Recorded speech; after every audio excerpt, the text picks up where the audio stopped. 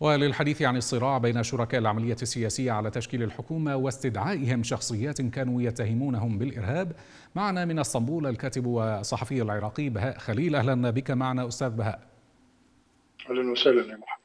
حياكم الله. أستاذ بهاء هل تعتقد أن الإطار أو إطار الميليشيات التنسيقي وإيران نجحا حتى الآن في تحويل أو في نقل التناحر بين الميليشيات إلى ما يسمى بسنة العملية السياسية الذين كانت تتهمهم سابقا بالإرهاب؟ تحية طيبة لحضرتك والمشاهدين.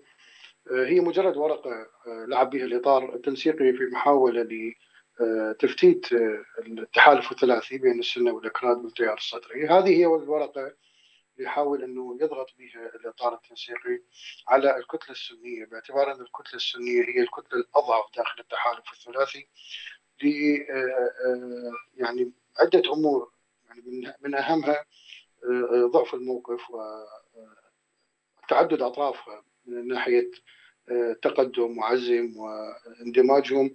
هم يشعرون بأنه هذه الكتلة نفسها بإمكانهم أن يفتتوها. وبالتالي يأثرون على التحالف الثلاثي ويتم تفتيت التحالف الثلاثي لتشكيل جبهة جديدة متمثلة بما يسمى بالشيعة البيت الشيعي لملمة البيت الشيعي لفرض الأجندة اللي هم يريدوها على العملية السياسية، اختيار رئيس الوزراء كما يروق لهم، اختيار رئيس الجمهورية كما يشاءون، هذه الأمور هي عدة أوراق يلعب عليها الإطار التنسيقي حاليا. من ضمنها أيضا ورقة إعادة الانتخابات اللي بدأ يلوح بها يعني كثير كثير من الأمور بإمكانه أنه يكسب الوقت اللي يعني منحها لهم السيد مقتدى الصدر حتى العاشر من شوال. يحاول أن يفتت هذا الإطار بدل انه يكسب قوة جديدة لتقوية الإطار لا هو يحاول انه يفتت التحالف الثلاثي حتى يصير الكفة متوازنة بين الإطار والتحالف بين مقتدى الصدر والأكراد وبالتالي يكون العرب السنة أو المكون السني بصورة عامة.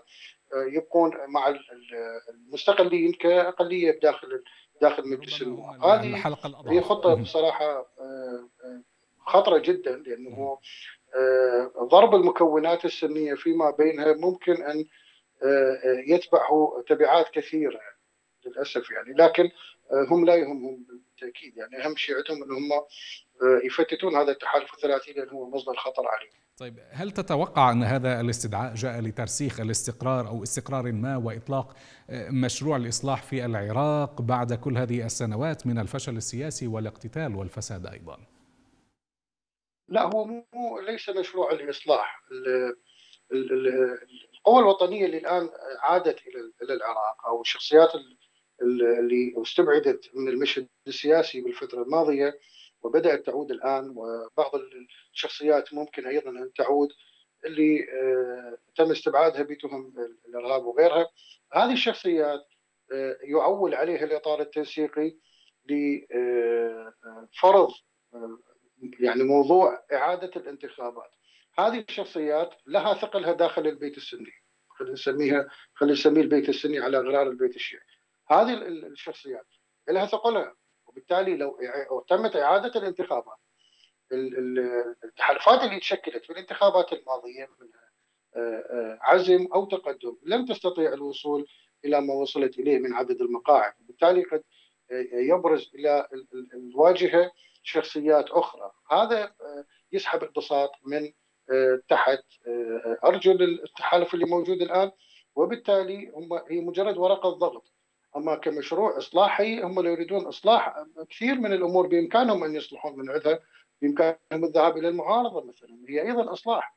لكن قلت لك من البداية هو تفتيت التحالف الثلاثي هو هدفهم.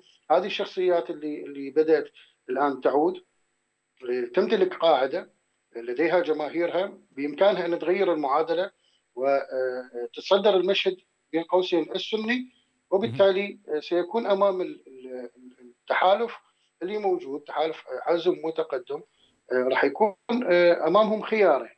إما القبول بشروط الإطار التنسيقي والانسحاب من التحالف الثلاثي والبقاء على مناصبهم كما هي ومكتسباتهم من العملية السياسية الماضية أو عفوا الانتخابات الماضية أو أنه تعاد الانتخابات فعلا وهؤلاء سيزاحون على المشهد ويتصدر المشهد القادمون الآن.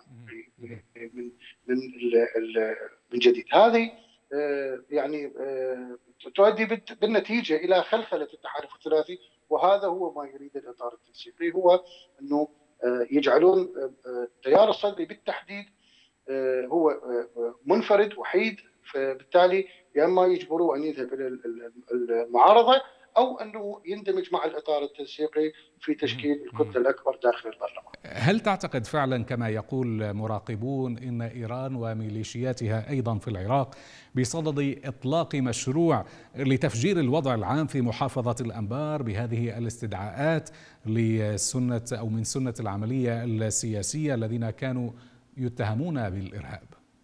ما سمعت بس الصوت الله يخليك. أسألك إن كنت تعتقد فعلا كما يقول المراقبون هل تسمعني آه، سيد خليل؟ آه، هل تعتقد فعلا كما يقول المراقبون آه، أن إيران أو إن إيران وميليشياتها في العراق بصدد إطلاق مشروع لتفجير الوضع العام في محافظة الأنبار؟ بهذه الاستدعاءات من سنة العملية السياسية الذين كانوا يتهمون بالإرهاب. نعم نعم هذا الأمر واضح. يعني جليا لجميع المراقبين إنه أكو خلافات داخل داخل المحافظات السنية حول هذه الشخصيات. بعض بعض ال ال ال يعني الجهات داخل المحافظات هذه خلينا نقول داخل الأنبار مثلا أو داخل صلاح الدين داخل الموصل آه، آه، ماخذ موقف من هذه الشخصيات. ممكن إنه قسم منهم يحملها مسؤولية ما جرى. لأنه قسم منهم كان سابقا من ضمن العملية السياسية وبالتالي حملوهم مسؤولية ما جرى في المحافظات الثلاثة آه، أيام أيام دخول داعش. وبالتالي قد يخلق شق داخل الصف السني. هو هذا الهدف من العملية. هو هذا آه، آه، يعني رغبة الإطار التنسيقي في إعادة هذه الشخصيات. دون أن يكون هنالك مؤتمر جامع وتصفية الحسابات بينهم داخل قاعة مغلقة يتم آه، تصفيه أمورهم والاتفاق على كل شيء قبل أن يعودون. لكن الآن اللي صار إنه آه، فرضوا يعني كسياسه أمر واقع. الآن هم الشخصيات آه، اللي رجعت وبعد أيضا شخصيات راح ترجع.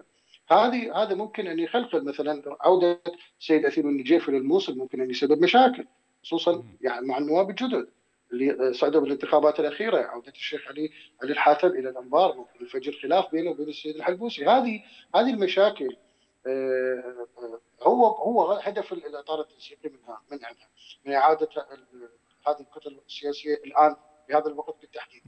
آه، خلق المشاكل داخل البيت السني وبالتالي يكون أمام خيارين أما إجبارهم على الانسحاب من التحالف الثلاثي إجبار يعني التحالف آه، عزم وتقدم على الانسحاب من التحالف الثلاثي مقابل بقاء الوضع على ما هو عليه أو إنه يصار إلى انتخابات والانتخابات الجديدة قد تفرز حتى مشاكل آه، على الأرض داخل هذه المحافظات. شكرا. هذا ما يتم يعني هذا ما يخشى منه السياسيين الموجودين حاليا شكرا جزيلا لك الكاتب والصحفي العراقي بهاء خليل. كنت ضيفنا عبر سكايب من اسطنبول.